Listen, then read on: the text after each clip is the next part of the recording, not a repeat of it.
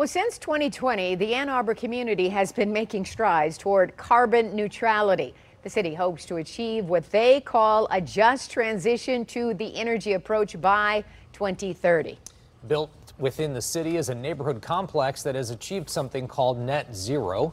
That means a home is functioning completely on renewable energy. 7 News Detroit reporter Jeffrey Lindblom takes us inside this new housing development, hearing from the founder and some residents. I'm at a community claiming to be one of the first of its kind here in Michigan, focusing on things like bikes, solar panels, and clean energy.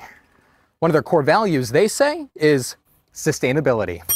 What we're doing here is incredibly unique in Michigan and really around the country. It's a 100% all electric neighborhood with zero fossil fuels whatsoever. Matt Grocoff is the founding developer of the Veridian at County Farm community, which he says comes at a time when the need for an all electric development couldn't be greater and is housed in just the right city. Ann Arbor is an amazing community for this because we already understand we have goals for, for decarbonizing the electric grid, for getting rid of the fossil fuels and showing that we can power our lives with 100% renewable energy. 100% renewable energy achieved by storing electricity inside in-home batteries, charged up high in the sky with solar and down low with geothermal.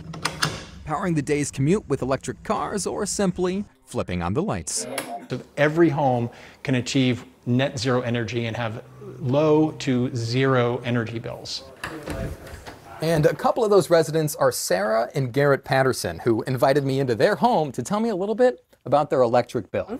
Our electric bill was uh, $2.33, so that was double what our bill was last month. I think that the, this type of community is got it's the future of sustainable living in general. This is the starting point, right? This is the concept that we can build these types of developments. To have a complete uh, net zero carbon footprint, at least on our living expenses, was an absolutely no-brainer. No it was a uh, putting our money where our mouth is. Practice what we preach. It's too bad it couldn't be more around the whole country.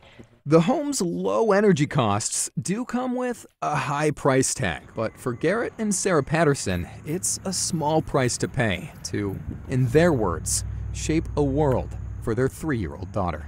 To leave behind a earth that is actually conducive for her to live in. In Ann Arbor, Jeffrey Lindblom, 7 News Detroit. All right, thank you so much, Jeffrey.